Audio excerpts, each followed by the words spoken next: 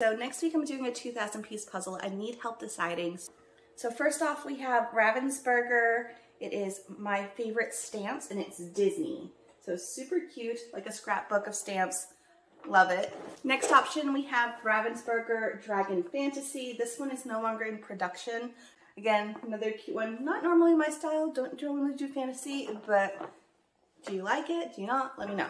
Option number three, we have Educa World Landmarks. So it is a globe one, super bright, very colorful. So let me know your thoughts. Which one should I do next week?